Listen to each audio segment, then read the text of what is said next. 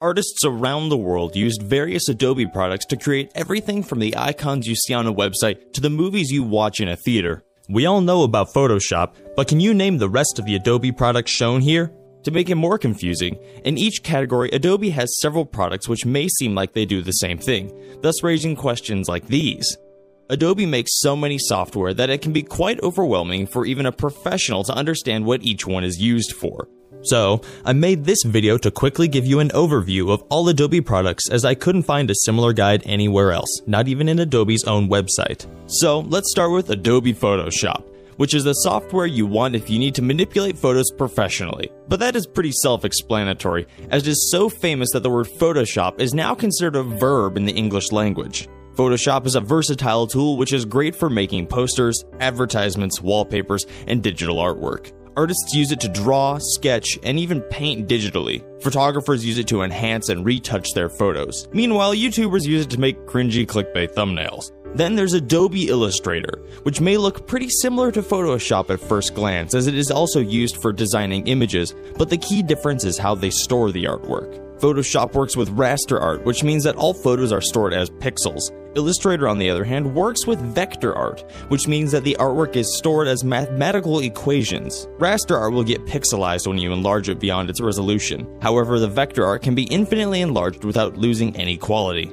The disadvantage of vector art is that it cannot be used for anything detailed like photographs. Hence, we have two separate tools for each purpose. Illustrator is great for making icons, logos, posters, and graphics which can be used in other projects. Next is Adobe InDesign, which is a publishing software that excels at projects which require multi-page layouts like magazines, newspapers, presentations, and books. It is good for arranging large amount of text and photos into nice layouts, which can then be directly handed off for printing. Making a magazine is a tough job, which require collaboration of several professionals from various fields including editors, writers, photographers, and designers. So, to help them collaborate, there is Adobe InCopy, which is a text editor that allows writers to write the text content while designers are simultaneously working on the graphics of the same document in InDesign. This significantly improves the efficiency as several people can work on the same project at the same time, thus making it possible for magazines to maintain their rapid schedules. Next is Adobe Lightroom, which is a photo photo editing software similar to Photoshop. However, it is specifically designed for making minor edits like color balance, brightness, or contrast of large collections of photos. It doesn't have pixel level control found in Photoshop, but that also makes it far easier to learn. Professional photographers use it in their workflow as a photo management system for efficiently cataloging, organizing, and post processing thousands of photos. Then there's Adobe Bridge, which is an easy to use visual media manager that allows you to organize, browse, and view your media files. But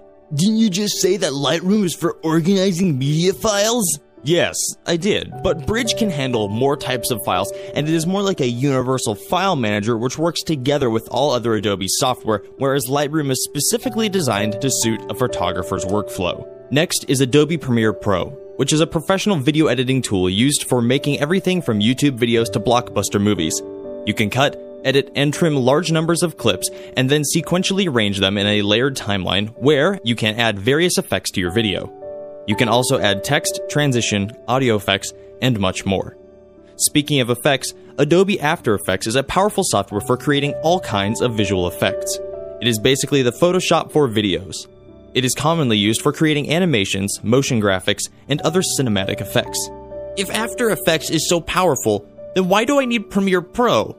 Um, because you can only work with one video at a time in After Effects, as it is not designed for editing the final sequence of a video. So after you create the visual effects, you need to export it to Premiere Pro to make the final video. Now, if you want to render your video, there is Adobe Media Encoder, which is the specialized software for rendering the video you have created in Premiere Pro or After Effects. Typically, the original file size could be huge, so it needs to be compressed and converted to a file format and resolution which can be smoothly played in various devices which may not have powerful processors or tons of RAM. Next is Adobe Prelude, which is a video editing tool dedicated for rough cutting and organizing a large amount of videos. A movie might have several hours of footage shot with different cameras, so Prelude is used to chop off unnecessary parts, sync various shots, and tag the content before it is sent to the main editing team. Audio is important too, so there is Adobe Audition, which is a dedicated audio editing software designed to record, edit, and mix audio. Next is Adobe Flash Professional, which is a software used to make simple 2D animations, games, and applications. If you have been on the internet for a while, you may have come across some sites asking you to install Adobe Flash Player to play certain games or videos. Those games were made with Flash. To make it more confusing, there is also a different software called Adobe Flash Builder, which is also used for making games and apps, but this one is more focused in programming than animation. Then there's another software called Adobe Scout, which is just used for analyzing performance issues in the games made with Flash. But, but, isn't Flash dead due to performance issues? Yes, due to increasing popularity of better technologies like HTML5, and bad press from basically everyone on the internet, Adobe renamed Flash to Adobe Animate and added several new features so that you can export your animations in more formats, including HTML5. Now there's a cross-platform technology called Adobe Air that allows you to make apps and games within Animate for several operating systems including Android and iOS. Next is Adobe Character Animator, which makes it possible to create 2D animations without having to animate it frame by frame. It uses the webcam to copy your facial expressions and magically make your character imitate you. This saves a lot of time as you don't need to go through the pain of lip syncing your characters manually. Then there's Adobe Dimension, which makes it easy for graphic designers to add 3D models in a 2D image to create photorealistic composites of both elements. This is useful in making product models for advertisements, prototyping, and package design. The professional software typically used for 3D modeling are extremely complex and have a steep learning curve. So the idea of Adobe Dimension is to make the basic 3D modeling as simple as Photoshop. Speaking of 3D, Adobe Fuse is another tool for making 3D models. However, this one is specialized in making human models, which you can then export to Photoshop or any other 3D software. It is pretty simple to use, even though you can create highly customizable models by changing their physical attributes, clothes, textures, colors, etc. Then there's Adobe XD, which is a user experience and user interface prototyping tool for designing apps. It allows you to quickly make the mockup of your app so that everyone can see and discuss it before developers start doing the hard work of coding it. If you want to develop this user interface into a website, there is Adobe Dreamweaver, which is a web designing software which lets you visually make websites without having to touch the code. But it also features a powerful code editor which supports numerous programming languages, thus letting you customize the design however you like. If you have ever used PDF files, you might know Adobe Acrobat Reader, which is the standard piece of software for viewing, printing, and signing all kinds of PDF documents. But if you want to make PDF files, you need Adobe Acrobat Pro, which is used to create, edit, and manage PDF documents.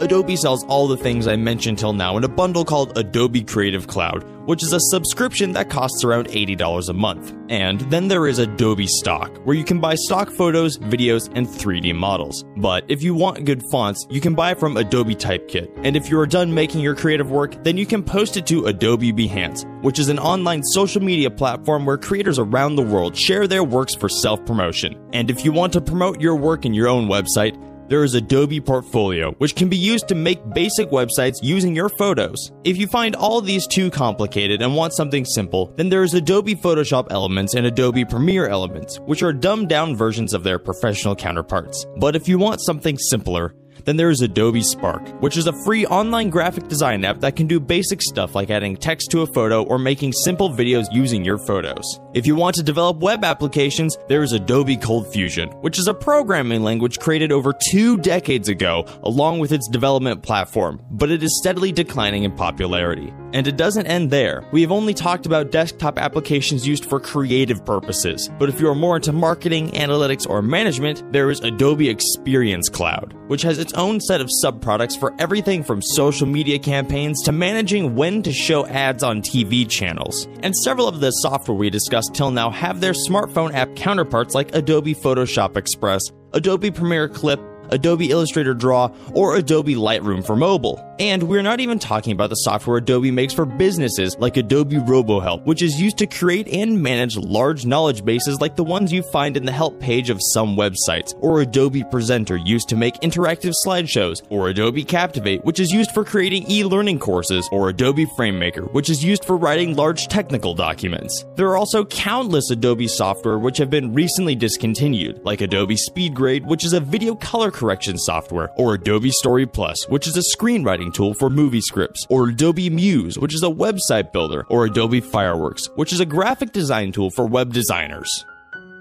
That is a lot of Adobe products for one video. So, as you can see, it requires a lot of hard work to make a quality video, and I only have like 29 subscribers. So, if you enjoyed watching this video and want more such videos, consider subscribing to this channel. Thanks for watching.